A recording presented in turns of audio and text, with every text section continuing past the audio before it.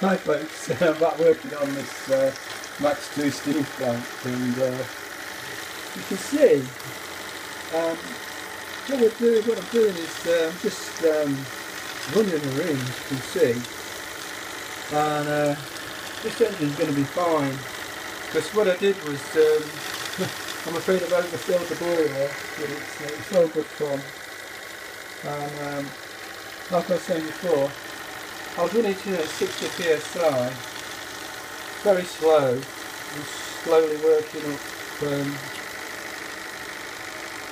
on the accelerator here.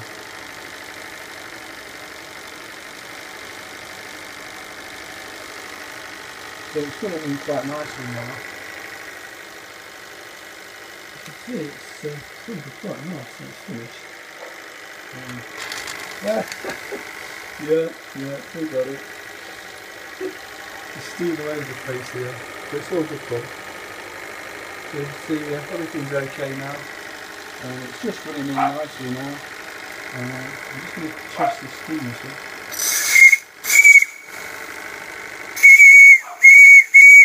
So that works pretty well. So we're at uh, about 40 psi. And um, what I've done is uh, I've changed the um, pressure gauge so it goes up to 80 psi. Well, she blows off just over between 60 and 70 psi, so that keeps it nice. Uh, I'm just slowly running this engine in now, and um, you can see it's going to be quite nice.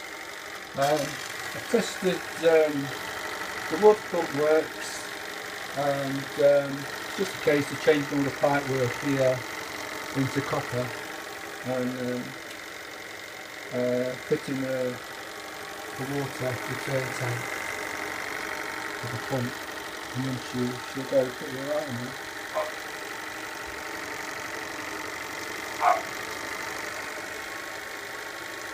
Just a slow running, it's going pretty well.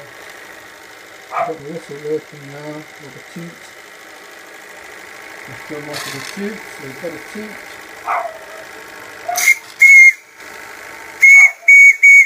That works pretty well. So it's just a quick video. Thanks for watching all the videos and uh,